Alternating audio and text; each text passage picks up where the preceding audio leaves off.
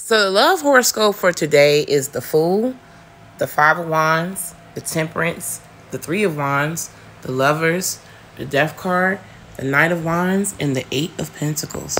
Bottom of the deck is the Four of Pentacles.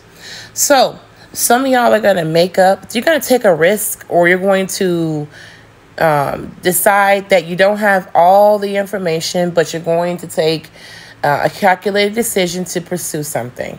So you don't even know how it's going to work out, but you're very optimistic. Notice the yellow in the background.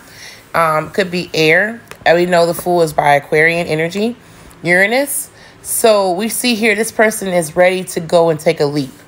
The Five of Wands is like um, no longer fighting, no more drama, no more bullshit. So someone is deciding to just take a leap of faith and apologize or resolve some type of conflict. The temperance could be forgiveness. You could be dealing with a Sagittarius, but this is like deciding that something is just not worth it and just really like apologize and become more centered, balanced.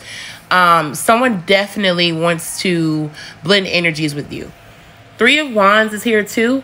It looks like in the future, someone would like to manifest with you or manifest an, a resolution. Um, someone feels like long term, they know what they want and they're waiting for it. I don't know what they're waiting for. They can just go out and do it. But again, someone feels as if they are waiting for their shifts to come in in regards to this type of apology or resolution. The lovers is kind of like people trying to interfere with that connection, or someone feels incompatible. So lovers could also be you're not very sure if this is what you really want to do. Although this is what you want to do, you're not sure if you should execute the actual thoughts.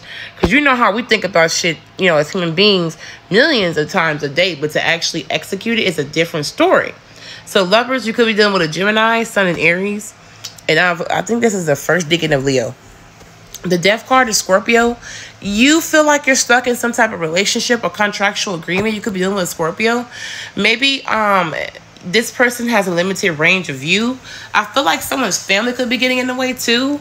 But this death card is about being stuck, complaining about things you never do anything about.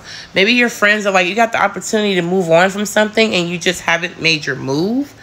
The Knight of Wands could be an actual move. It could be a very attractive man. Or this could just be a job for work. Maybe you're always complaining about how you never get out the house and your how your life is shit. And it's like, okay, your friends are like, okay, do something about it. And you hesitate because of fear. So um, doesn't seem much like love. It could be many different ways, but it seems like they're telling you to come on. You could be dealing with a Virgo or a Scorpio, Sagittarius with the Knight of Wands and the Eight of Pentacles. But you have a decision to make. What are you going to do? Are you going to sit on your ass or complain?